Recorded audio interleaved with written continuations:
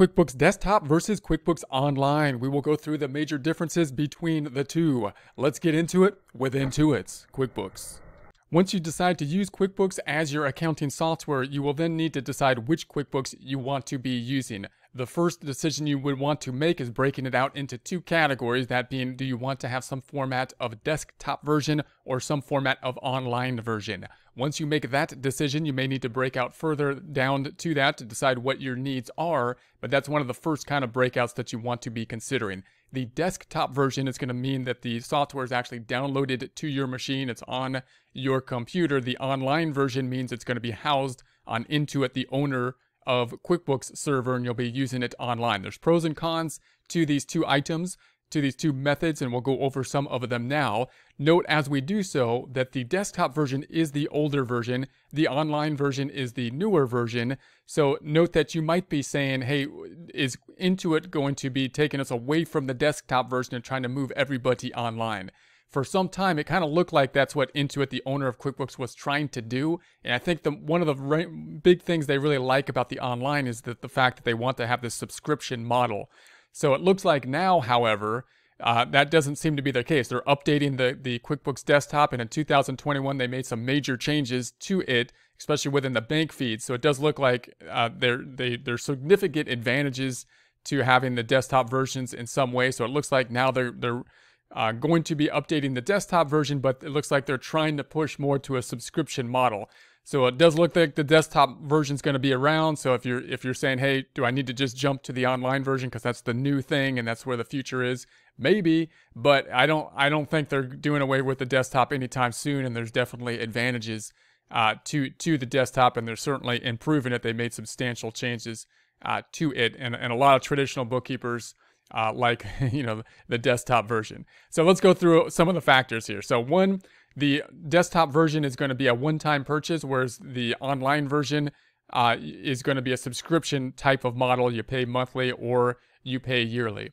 Now, note as we go through this, remember that both of these typically will have a free downloadable test kind of version. So oftentimes the, the desktop may be a little bit more difficult to do that, but they still try to provide Oftentimes, Intuit will provide a 30-day free trial, which we will use in this in this course uh, in order to work through the practice problem. So if you want to practice with the software, get a feel for it, you could have that 30-day trial here as well as in the online versions. And once you look for the 30-day free trials, though, just make sure that you're you're picking up the correct software, whether you want to look at the free trial for the desktop or the online version. Once you purchase the software, then the desktop version traditionally is a one time purchase subscription model for the online purchase you pay monthly. Now, that means that the desktop was, was difficult to purchase at first because you have to put the lump sum purchase up up front, which is kind of painful. But once you had it on the computer, then you can have it for basically multiple years.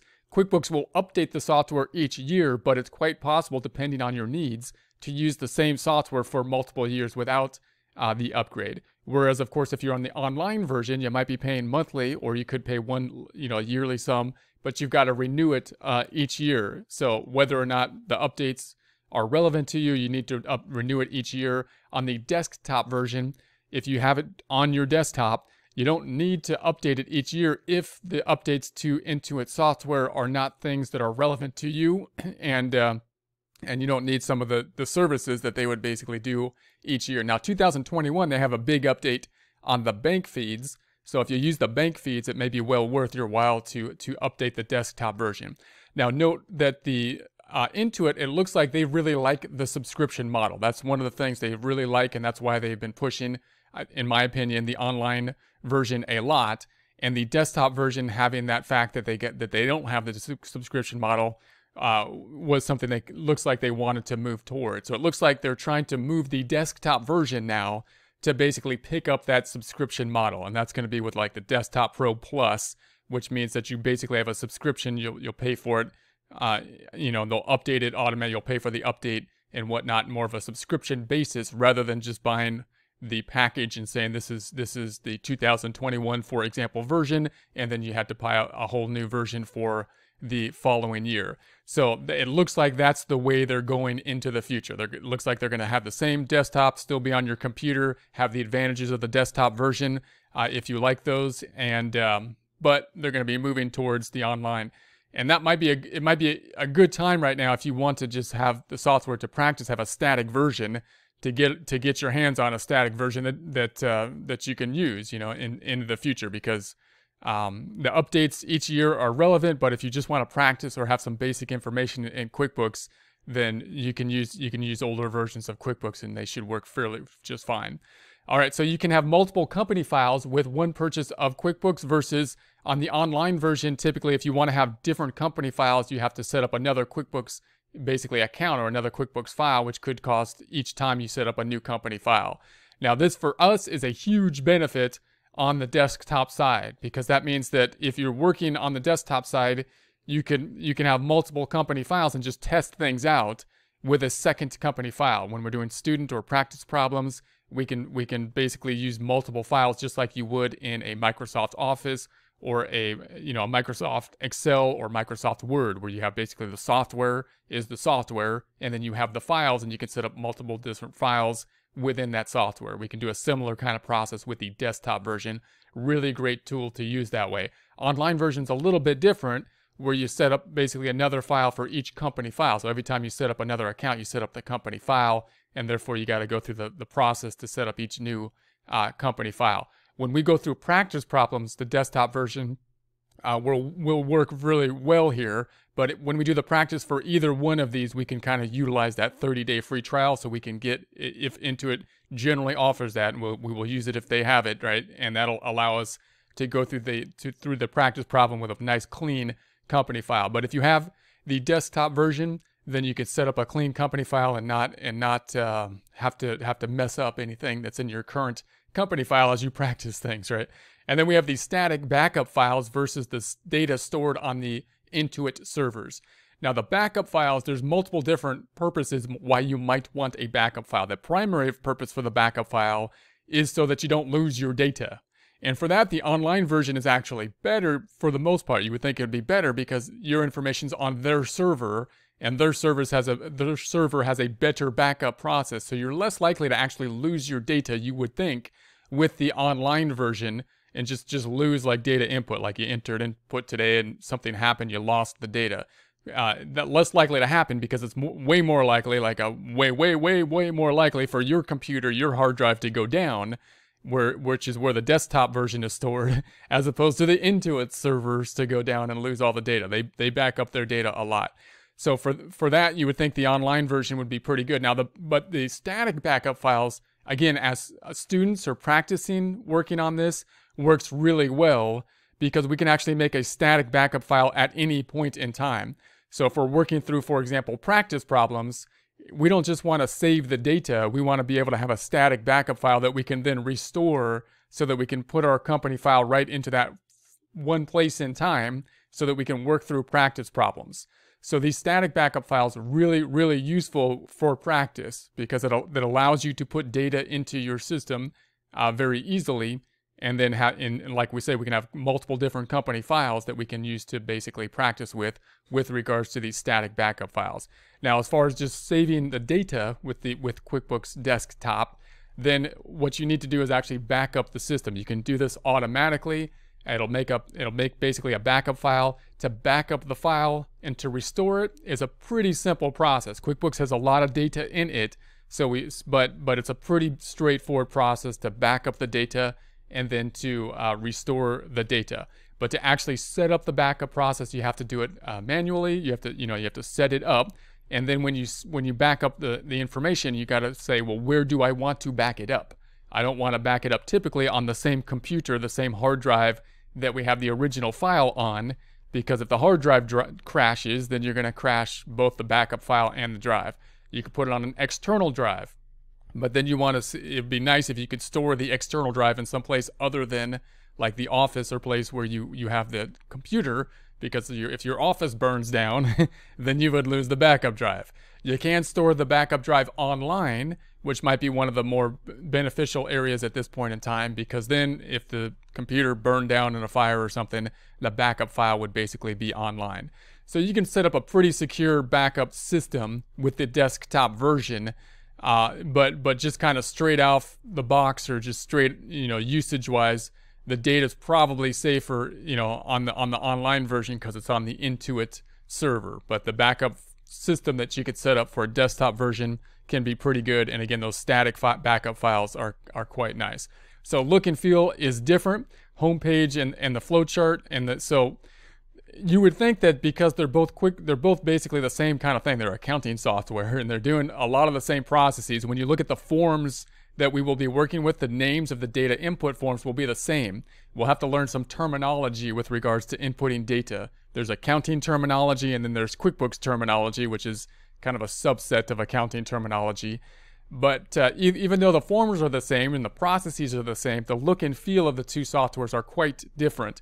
The desktop version has a nice home page, which is really good, especially for beginners to kind of visualize the process. It'll break out the the process of um, the the vendors, the the the payables. I'm sorry, the vendors, the customers, and the employees. So that's a really good place to start. We'll actually use that. I'll, I'll use that when we look at both of the QuickBooks desktop and online version just to see that flow chart.